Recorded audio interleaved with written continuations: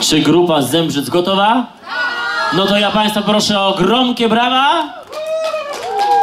Zapraszam na występ. Porwanie królewny.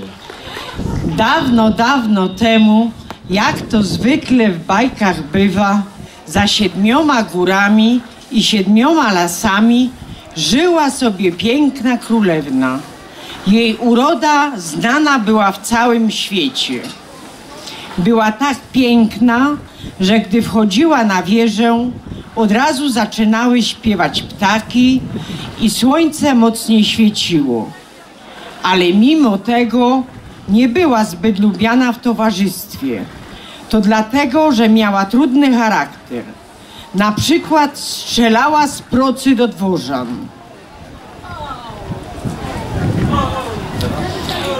Pewnego dnia dostała zaproszenie na bal.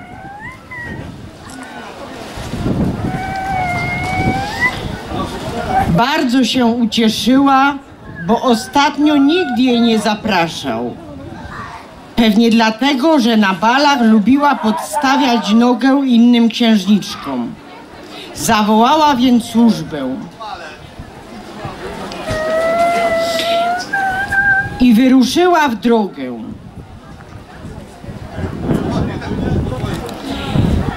Nagle z zakrzaków wyskoczyli rozbójnicy. Wyciągnęli królewnę z karocy i wsadzili ją do worka. Stangreci nie lubili królewny i chociaż była przepiękna, nawet nie próbowali jej ratować, tylko uciekli. Rozbójnicy pracowali dla wielkiego czarnoksiężnika,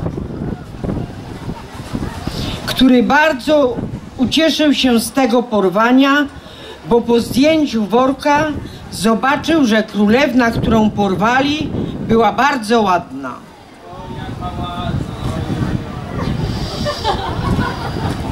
Ale kiedy wyciągnęła procę, okazało się, co to za królewna.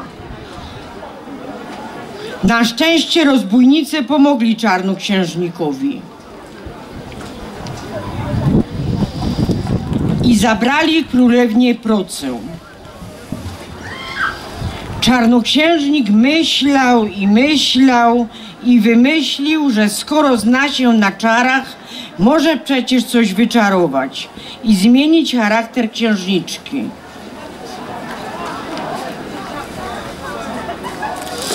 Niestety pomylił zaklęcia i piękną królewnę zamienił w brzydką żabę.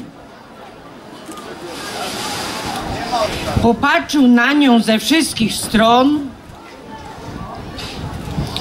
i stwierdził, że skoro potrafił wyczarować coś tak okropnego, to czas przejść na emeryturę i poszedł.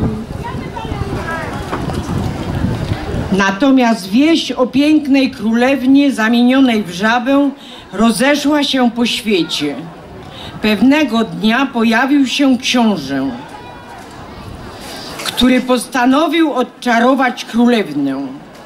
Nie było mu łatwo pocałować żabę, ale w końcu się przemógł i udało się. I tak żyli długo i szczęśliwie, ale tylko dlatego, że królewna dostała nauczkę i postanowiła sama zmienić swój charakter.